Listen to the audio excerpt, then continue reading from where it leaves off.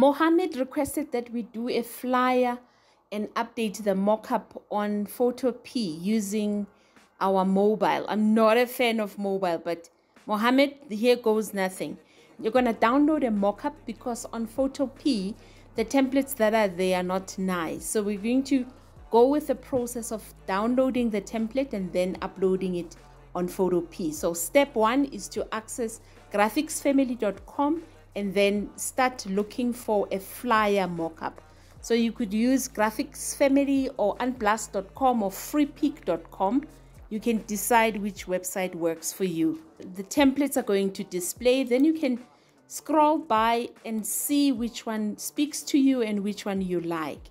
I liked this one and then you click and you open it and then the mockup opens up. So once you've opened it up like this, you're going to scroll down and go download the template on your phone. So you're going to click on download and then it's going to download and sit on your phone's file.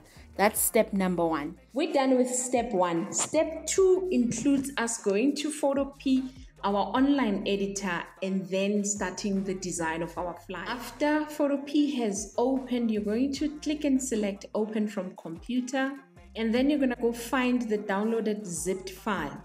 So we're going to go to files and we're going to select the zipped file. It will load. After it has loaded, you're going to select the second tab, the one that says flyer, because this is where we're going to be doing our design. And when we click on the layer section, it shows us all of the designs that were made by the designer from Graphics Family. When you click on it, on each folder to open the layer, and then you can double click on the text and then you can start editing and changing the text. You're then going to open the second group and it will give you where the information is lying. So this this text, when you double click on the text and then you close your layer, it shows you in that highlighted text to show you where you can start adjusting the text. So you're going to type over the company details, type over the about, change the picture, change the colors and that is how you would make changes on the on your flyer using Photopea.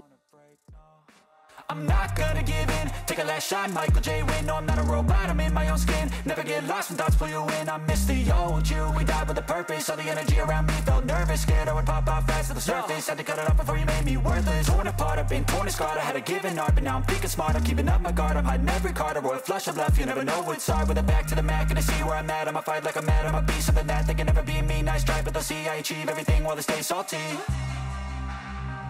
I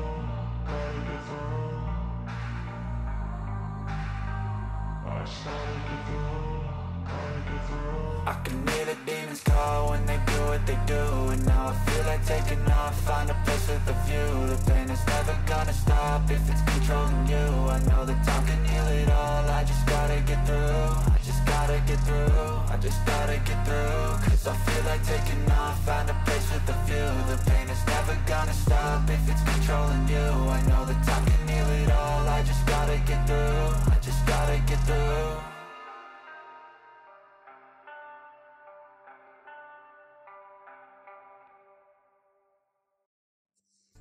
our end result looks like this. Again i cannot stress this enough.